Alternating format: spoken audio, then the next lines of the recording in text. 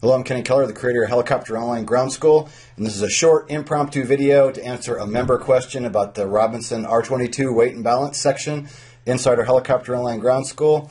And I knew somebody was going to ask this question. We go through the weight and balance terms, and then I go through a sample weight and balance that I built, and as much as I hate weight and balance, it's a necessary part and something that we have to do. We all struggle with weight and balance, or most of us do anyway. I just logged in the site a little bit ago, and she just asked this question. Kenny, good teaching video. Could you do another video and show a picture of the helicopter POH and where you're getting these numbers from? I knew somebody was going to ask that question, which that's fine. That's a good. It's a great question.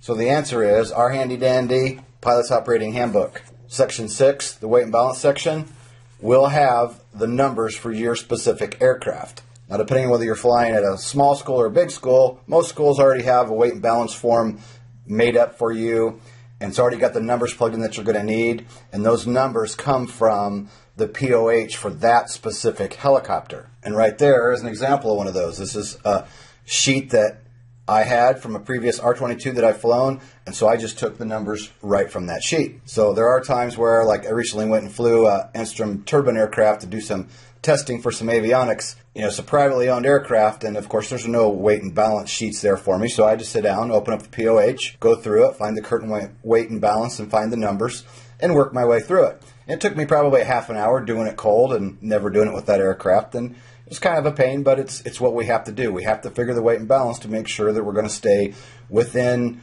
center of gravity during our entire flight. And if the FAA just happens to show up, they're going to want to know that you have a weight and balance figured for your aircraft and know, you know, what your limits are for that day, for the fuel load that you have and passengers, so on and so forth. So this is the presentation that she's talking about right here, and it's the numbers that I have in red are the numbers that are already basically prefigured numbers.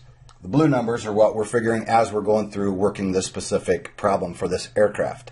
The bottom line is as long as you remember that weight times arm equals the moment, and that the moment divided by the weight equals the arm, you can pretty much work any weight and balance problem for any aircraft. Again, it's a little unhandy if you don't have a sheet that's pre pre up, but it can be do it as, as long as you remember the formulas for working the weight and balance. And for those of you that aren't members, we do have a complete R22 section inside Online Ground School.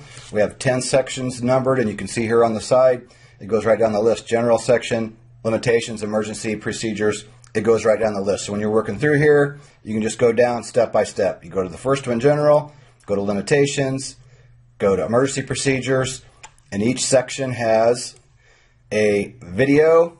It also has an MP3 download below the video. So you can watch the video a couple times if you want, once or twice. And then if you want to download the MP3 file to take with you when you're on the on the road driving, a lot of our customers that's what they do. They download the MP3 files. You know, they watch the videos, but then they, you know, download the MP3 so that when they're driving to their helicopter lesson, they've got something they can plug in and, and listen to while they're driving. Which again is part of the reason that I built this entire thing back when I started flying in the late 90s and struggling through all my ratings. I was always thinking, man, I wish I had something I could listen to in the car. With all this driving I did, two hours to a lesson, two hours from home, or two hours back home again, I would have loved to have something like this when I was training. So if you're interested in learning more about our training site, in the description box, click the link for helicopterground.com and go right to our website. And you can investigate and find out some information there about it. And then there's also the test drive you can take, and that's a self sign up at this time where you can just click on it, sign up for 24 hours, go in and take a look around, see what you think. And each day, first thing I do is log into the site to see what kind of questions are there. So if you are inside there and you have a question, just leave a comment, leave us some feedback, and we'll take care of any questions that you may have. So thanks for taking the time to check out our video. Please give us a like, give us comments, share, feedback. You know the drill. So thanks a lot, and we'll see you in the next video.